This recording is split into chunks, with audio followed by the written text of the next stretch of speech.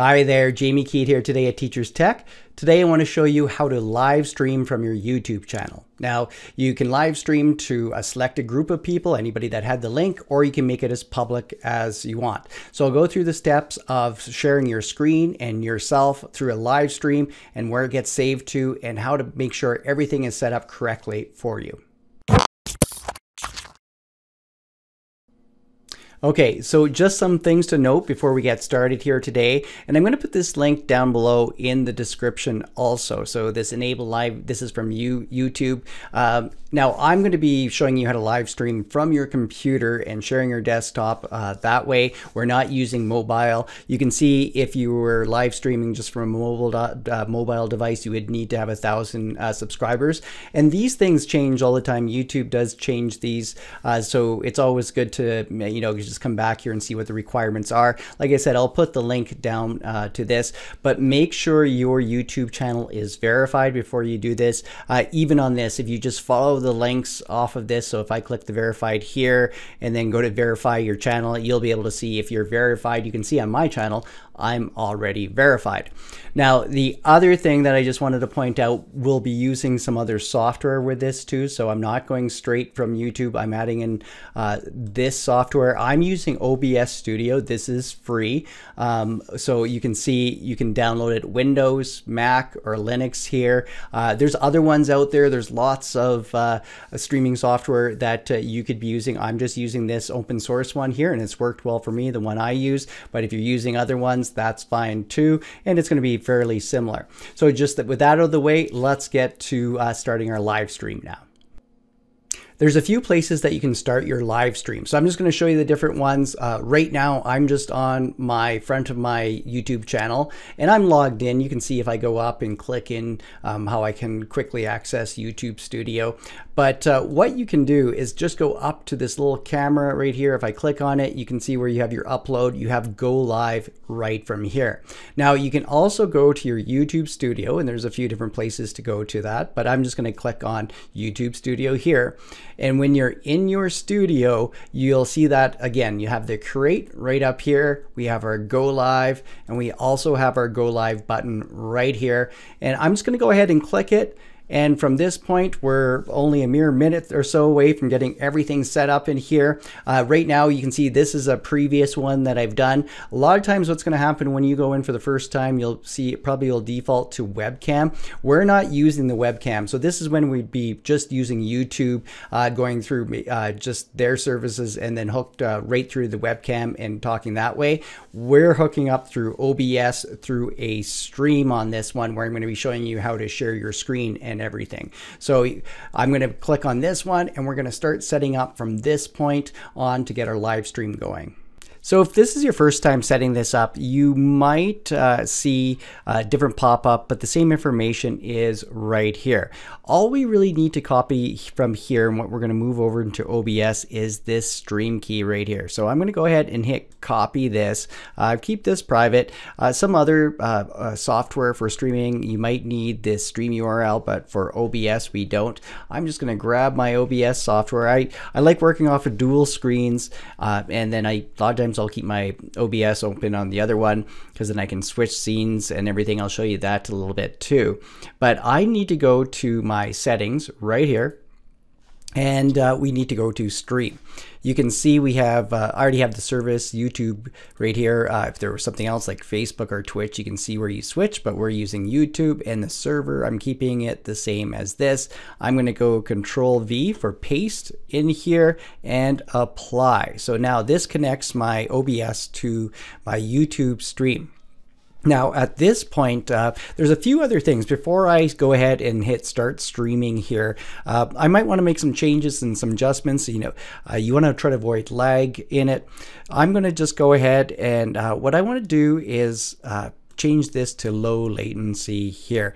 Um, if you hover over the question mark, you can see uh, where what it's best for and everything like that. Uh, the other thing I just wanted to show you too, and I'm just going to go back to my uh, OBS right here is in the settings. I'm going to go settings again, and I'm going to go under output. You can adjust this this video bit rate and the audio bit rate. Uh, again, this depending on what you're if you're getting any lag. I have mine set at 3000. Uh, you can set it higher uh, depending on what the quality and the lag that uh, maybe you're experiencing with it. Uh, same thing with the audio bit rate too. So I'm just going to go ahead uh, and move this out of the way here. So I'll just hit OK here because this is all set up. And I'm just going to move this over here. I'll just maximize this one.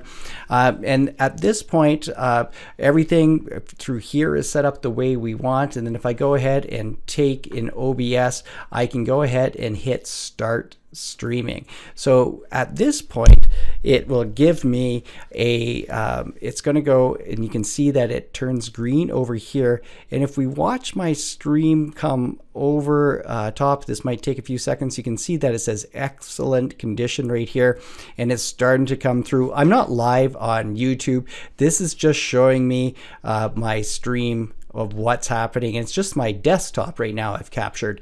Now the thing to think about, uh, and I can go with this into a little deeper into a, a, different video, but in OBS I have different scenes. So if I go ahead and hit my webcam here, this switches to just my webcam.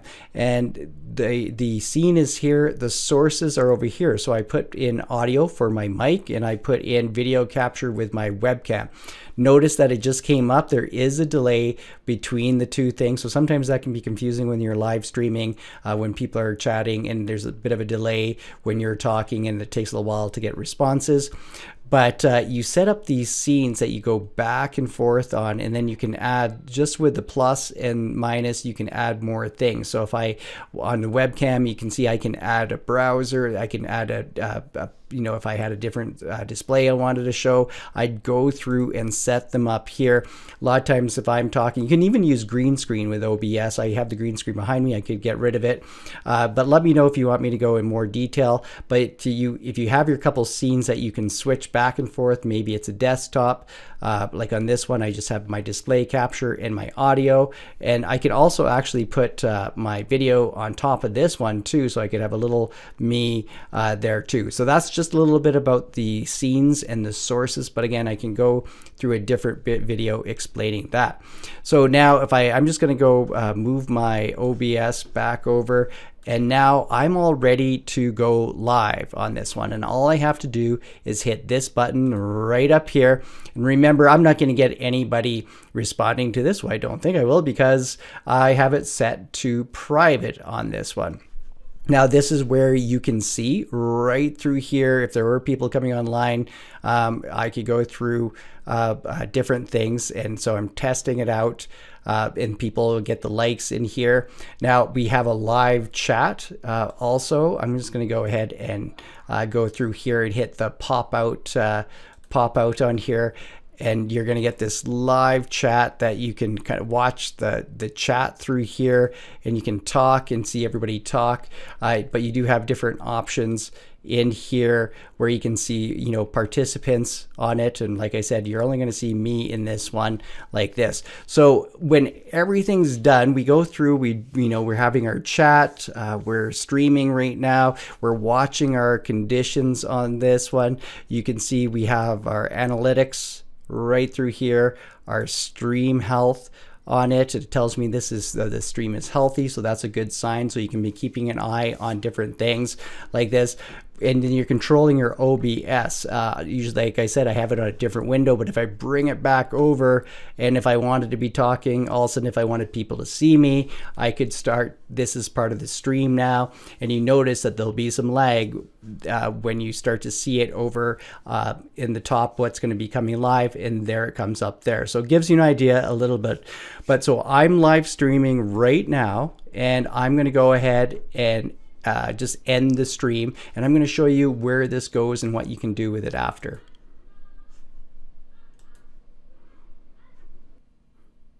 So you can see after the stream is finished, it gives you some information. Uh, something I just wanted to point out here, and YouTube has this built in. A lot of people don't know it's there, and you can do this on all the videos too, but edit in Studio. So maybe um, I'm just going to go ahead and click on it. Uh, you can actually edit uh, the video uh, through here. So this goes back uh, right to where it's going to be kept, and I'll show you a different way you can find it. Uh, you can add more details, and and you can keep it live or hide it or different things like that.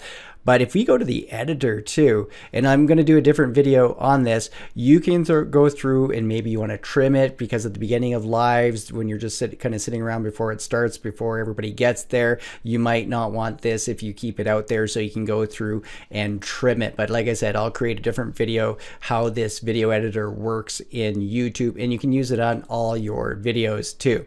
Uh, but just going back, I'm just going to go back. I'm in my studio right now in videos go to live right here and you can see that this is what we just created this video uh, right here. So I have it set to private. You can see here's a previous one here also but I can go through and make all the adjustments just like uh, a different video uh, from it. So I can go through I can watch it I can share it with people change it to unlisted to keep it as private. So a lot of times I'll if I, I just keep mine to private uh, afterwards or delete them to after I have done the live stream on it. So I hope you get this gets you started with uh, live streaming on YouTube, thinking about uh, teaching, uh, maybe something with live streaming to the class. I like it because everything can be recorded and you can keep things up after, and then even in the editor, uh, you can uh, you can edit it and fix things, and you can download uh, the video too if you wanted to change it in a different editor too. But anyways, hope you liked what you saw. Hope it helped you out this time. Thanks for watching Teachers Tech this week. I'll see you next time with more tech tips and tutorial.